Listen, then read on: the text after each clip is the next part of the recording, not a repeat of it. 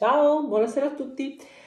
Proviamo oggi a parlare del settimo corpo aurico, ovvero il corpo causale. Sì, questa volta è il settimo, non ho fatto come nel video scorso che per tutto il tempo pensavo che il corpo astrale fosse il terzo corpo invece il quarto. Chiedo bene un'altra volta.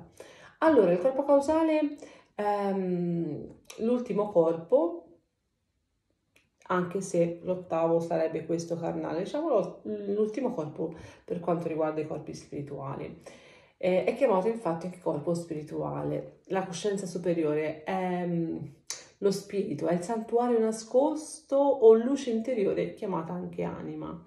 Eh, gli orientali parlano di questo corpo come il corpo che origina, che è l'origine di, eh, di tutto.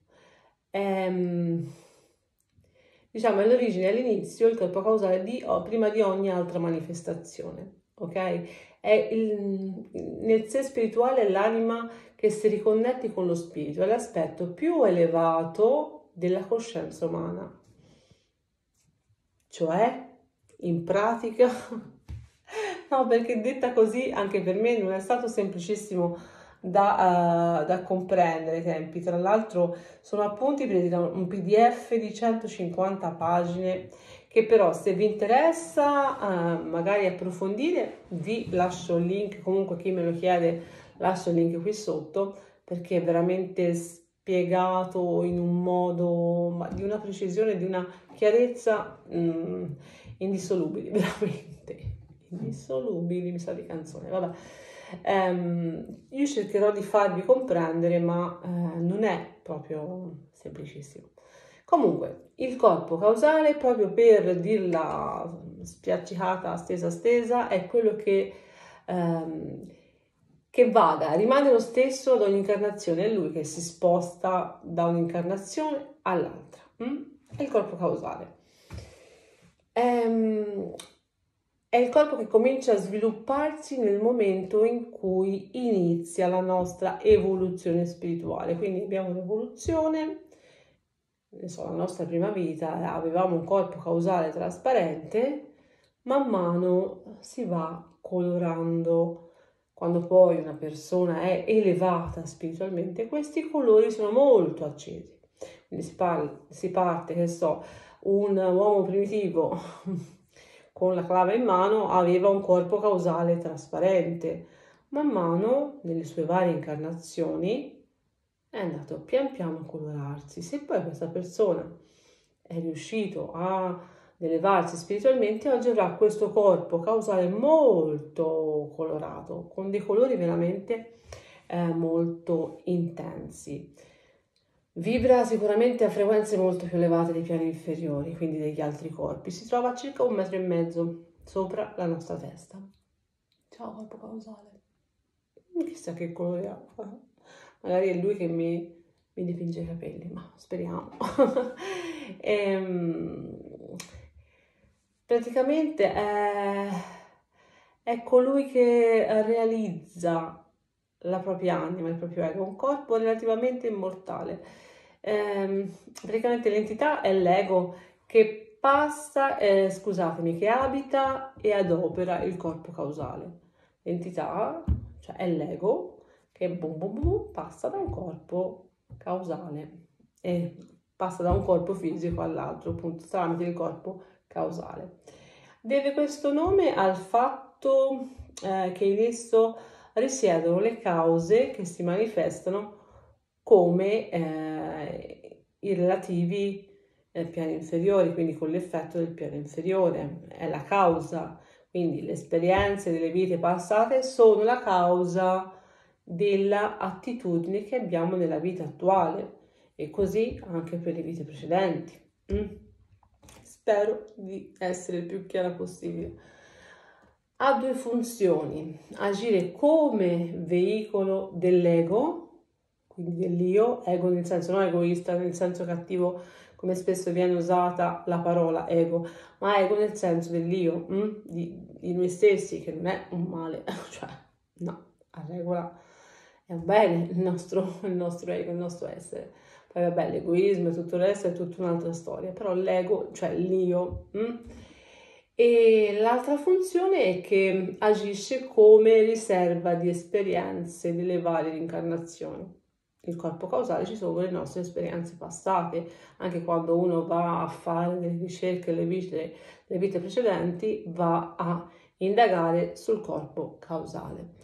Ehm, è il, eh, dove si ritrovano tutte le emozioni pure, mm, è un involucro eh, dove esistono tutte le possibili forme del, dell'uomo. Alla fine sì, perché è lì che si forma man mano il nuovo, no? il nuovo corpo causale. E, ehm, è anche la forza creatrice che poi alla fine può dare una realtà oggettiva. Mm?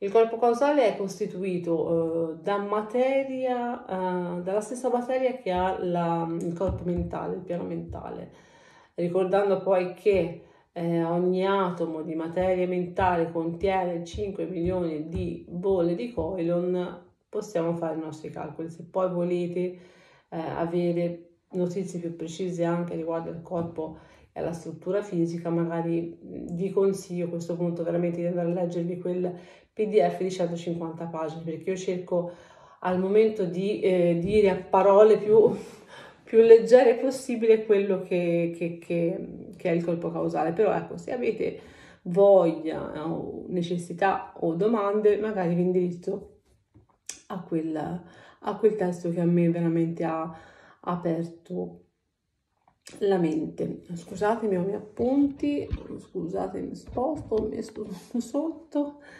Eh, sì, um, qui avevo preso appunti su, sulla differenza di anima e spirito perché non era, ecco, mi sono spostata e non sono più centrale.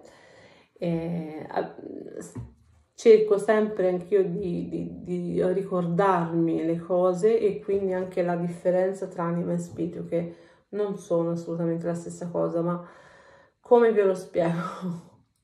è semplice. Diciamo che l'anima è la parte vitale di ogni essere vivente, cioè quando si pensa appunto a un, all'universo, un Dio, un'entità superiore che eh, immette la vita mh? Hm, negli altri, immette l'anima, quindi soffia l'anima e questa entra e fa vivere appunto il corpo. ed è immutabile questa, a differenza dei vari corpi. Poi lo spirito è la forza vitale, eh? che ehm, è distinta dalla materia che interagisce con essa, quindi con lo spirito e, ed è il mediatore, lo spirito tra anima e corpo, eh? è quello che sta in mezzo. Ovviamente mi sembra di avervi già spiegato che il corpo di una, un uomo di Neanderthal è sicuramente più trasparente di un, di un uomo evoluto spiritualmente e magari adesso e, e niente, diciamo che il succo è questo se avete domande me le potete fare qua sotto.